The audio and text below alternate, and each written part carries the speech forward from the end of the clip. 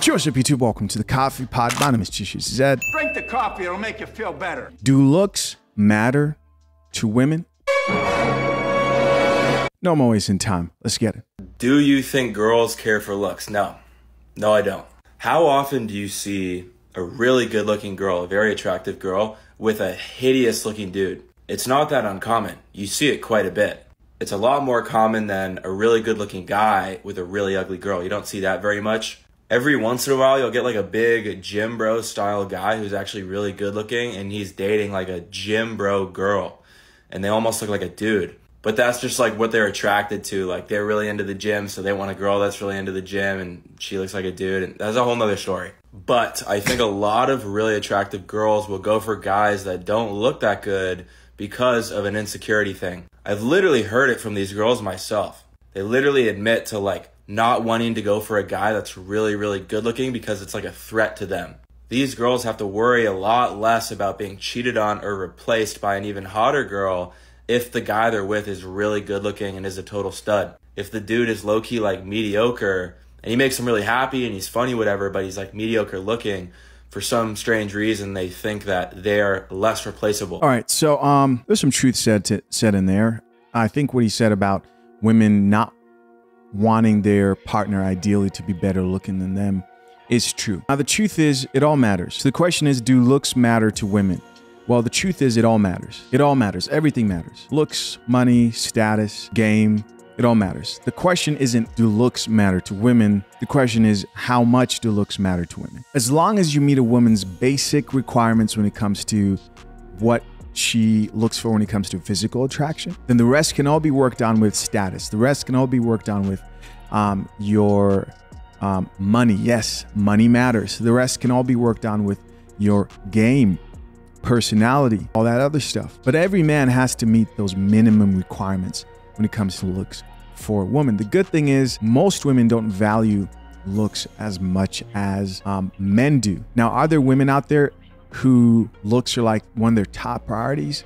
Yeah, they exist. They do exist. But contrary to what a lot of guys who like to complain so that they don't go out here and improve themselves, you know, because they say, oh, they just want the top 10% Chads and Tyrones. They just want guys with like perfect physiques and perfect everything. That's not necessarily true. If you meet those minimum basic requirements and you work on those other areas of your life, a lot of women out here view you as a viable option. Now, the only people that don't like hearing that are men who want to find a reason to not improve themselves in other areas of their life. And on this channel, you just get blocked. We, I don't go back and forth. I see one hint of no, there's no. Uh, it's it's uh, one hint of hopelessness and not wanting to self improve. You just get blocked, man.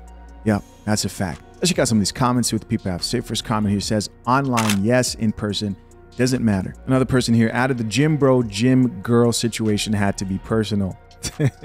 yeah, the way he said that, I was chuckling. Another comment says, I'm 5'4. See, like this guy. Right? He's like, oh, I'm 5'4. Does your height matter? Yes, it does.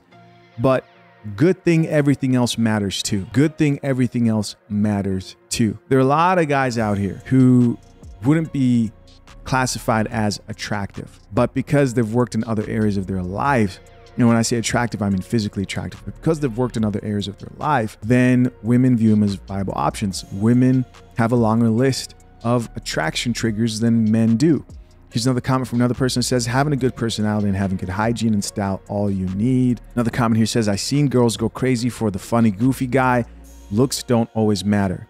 Yeah, funny is good, but guys, going going the goofy route with women, being viewed as a, as a jokester, usually won't get you the type of position and respect that you want to build with a woman, right? That that that that goofy approach to dating.